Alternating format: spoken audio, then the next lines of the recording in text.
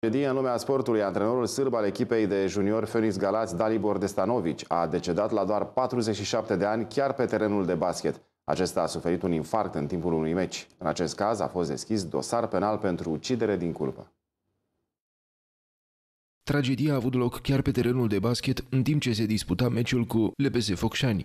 Infarctul a fost suferit de antrenor în timpul primului sfert al meciului. Potrivit Sport.ro, la meci nu ar fi existat ambulanță, iar cea sosită nu avea medic. A fost transportat în cele din urmă la Spitalul Județean Focșani, însă manevrele de resuscitare au fost inutile, iar ulterior a fost declarat decesul. După ce vestea tragică a picat ca un trăznet, apropiații și-au exprimat regretele pierderii antrenorului echipei de basket U16 Phoenix Galați.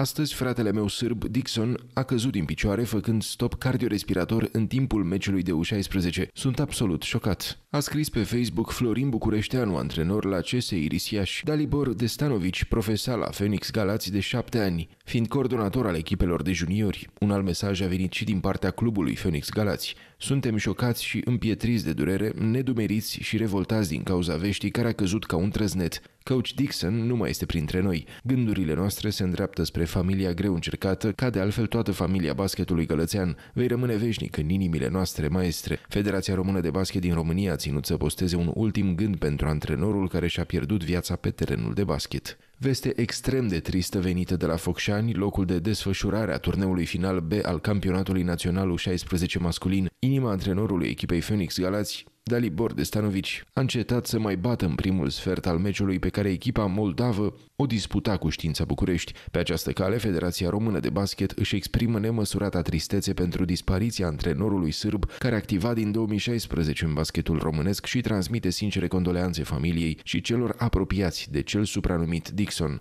În acest caz, IPJ Vrancea a anunțat că a fost deschis un dosar penal pentru ucidere din culpă în cadrul anchetei vor fi vizate neluarea măsurilor legale de securitate și sănătate în muncă și nerespectarea măsurilor legale de securitate și sănătate în muncă. Destanovici făcea parte din echipa de antrenori ai Academiei Phoenix Galas din anul 2016, fiind coordonatorul programului de juniori. Destanovici, originar din orașul sârb Alexinați. Avusese o carieră de sportiv îndelungată de 21 de ani, era poreclit Dixon și în 2020 declarase că își dorește cetățenia română. De-a lungul carierei de basketbalist a evoluat în ligile din Serbia, Bosnia și Bulgaria.